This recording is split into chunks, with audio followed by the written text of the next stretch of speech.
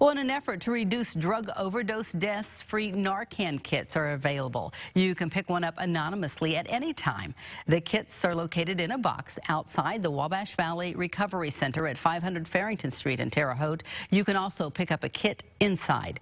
Narcan, also known by naloxone, can reverse the effects of opioid drugs in case of an overdose. Directions come with that nasal spray. They're described to be very easy to use. The center's director, Christy Crowder, says funding for the kits come from the state. People pick up about 30 kits a month. Substance use has taken so many lives, and um, we just want to do everything we can to keep people alive until they can get the help that they need for their addiction. And Wabash Valley Recovery Center also offers free help for those with addictions.